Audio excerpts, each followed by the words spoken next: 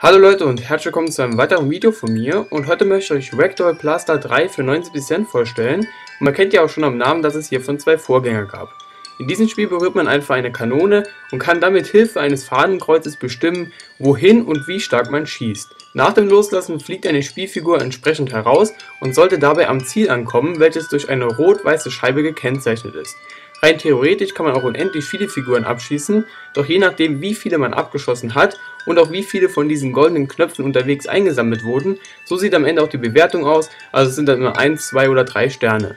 Von diesen Knöpfen kann man zudem auch noch in einem Store weitere Objekte freikaufen. Das sind eigentlich alles nur andere Spielfiguren, also die sehen einfach anders aus. Wobei ich das auch richtig cool finde, das bringt auch so ein bisschen Abwechslung mit sich. Und auch in jeder Welt unterscheiden diese sich voneinander. Insgesamt gibt es momentan fünf verschiedene Welten. Ich würde euch gerne jede einzelne zeigen, denn die Screenshots sehen auf jeden Fall schon mal richtig klasse aus, doch leider bin ich momentan erst in der zweiten.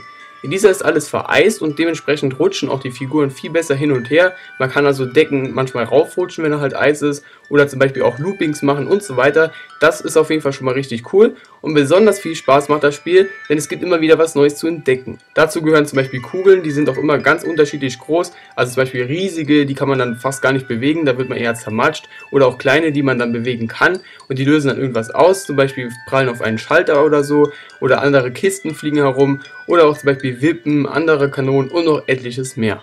Mittlerweile ist dies einer meiner Lieblingsspiele geworden und ich werde damit noch sicherlich die ein oder andere Stunde verbringen können. Also es macht einfach richtig viel Spaß, für 90% völlig in Ordnung, ich kann es euch nur empfehlen. Und das war's noch schon wieder von mir, ich danke mir fürs Zusehen und tschüss.